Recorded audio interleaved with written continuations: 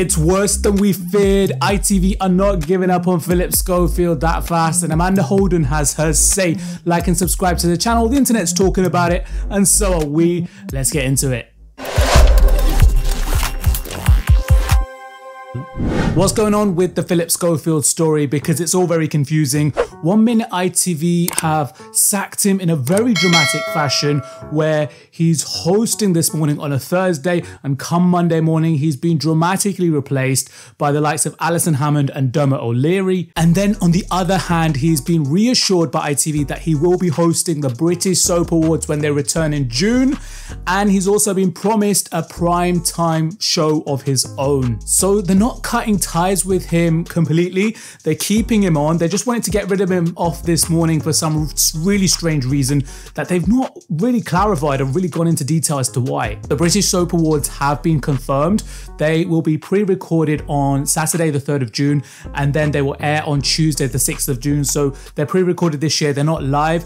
Is this to do with Phillip Schofield or was that always the plan? Who knows? But one thing is for sure ITV are backing him really hard. After 20 years plus, for 20 plus years of service, it's got to be said, you know, whether you like Phillip Schofield or not, he's he's given a lot to the channel, to the network as a whole, uh, and so they're not cutting ties with him completely. They're keeping him on board, and it was so apparent even from his last closing statement when he resigned that he he reassured his fans that he will be coming back. It's not the end of him. He's still got a career. He'll be back for the soap awards. He said it so confidently, it's almost like he shook hands with ITV and it was part of the deal that he steps down from this morning, but they'll keep him on and they'll give him new projects. But a new statement from ITV has come out. A spokesperson has said that Phillip Schofield's decision to step down from this morning was, as his statement made clear, a decision agreed between Phillip and ITV. So they've really backed him again here.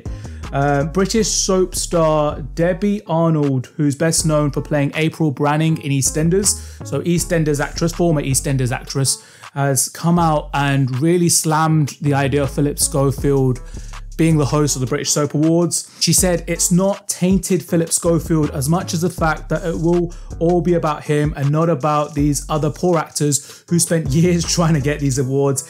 It will just be all about him and nobody will even be looking at them and they'll just be looking at him. Do you know what? She's got a point there.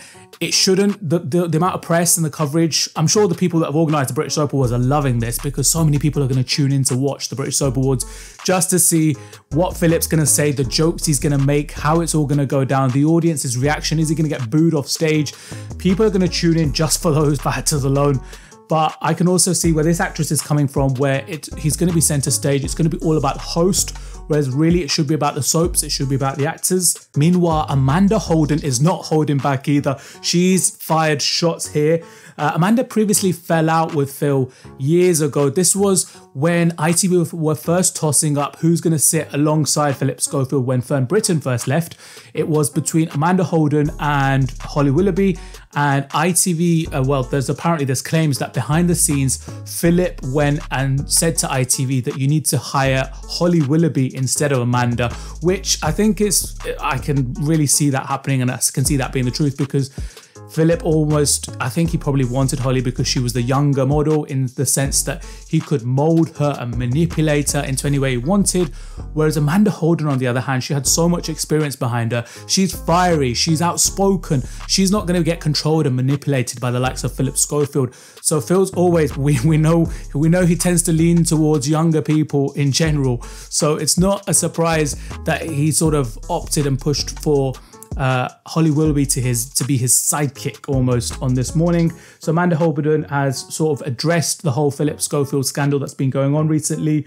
Um, she's actually backing Dermot O'Leary and Alison Hammond to be the permanent host on the show. She feels like they're doing a really good job. She wants them to stay on board. So this might be a huge surprise to a lot of people who thought that this was it. Phillip's career is done. He's finished. He's tarnished forever. There's no coming back. But ITV are reassuring people again and again that no, no, no, Phillip Schofield is still at the helm. He's still a big part of our channel. Surely if he's done all these horrible allegations and stories that are in the press and in the media and online, surely they'd want to distance themselves away. So it is causing a lot of confusion.